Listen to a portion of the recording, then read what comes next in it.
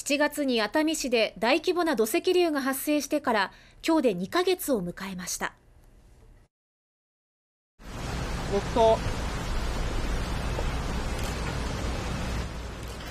7月3日に土石流が起きた時間に合わせ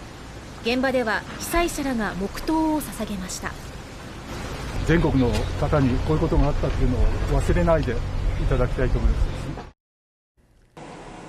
現場では天候が不安定な中今日も捜索や土砂の撤去作業が続けられています。これまでに26人の死亡が確認され今も太田和子さんの行方が分かっていません。